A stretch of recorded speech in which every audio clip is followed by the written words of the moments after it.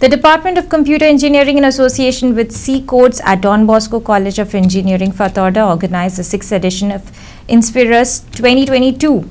It was held for two consecutive days based on the technical events. Director Goa Institute of Management Dr. Ajit Parulekar was present for the event and gave his knowledge pertaining to the field. Principal of Don Bosco College Engineering Fatorda Dr. Nina Panandikar spoke on how the two days program would give students a platform and an opportunity to showcase their technical talents and also the ability to display their leadership quality and teamwork. Dr. Nina added that around 500 registration have been done from various colleges, which itself is a big achievement. Very happy that the Department of Computer Engineering in association with C-Codes, the Students Association of Computer Engineering Department is organizing this two-day technical event, 6th editions Inspirus 2022.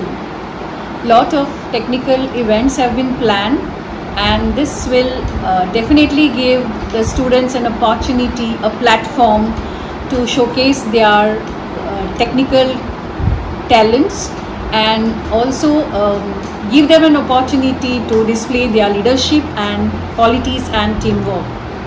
I am being told that there are uh, 500 plus registrations that have come up and the participation from various colleges in the state. That itself speaks about the success of this event.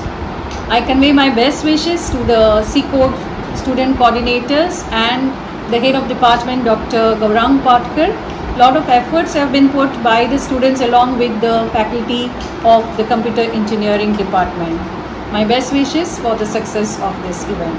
Inspirus 2022 is powered by OneShield software and it is supported by Conaxio Technology Solutions, EduAdvice, Tersus, Models Group and Sprinkly.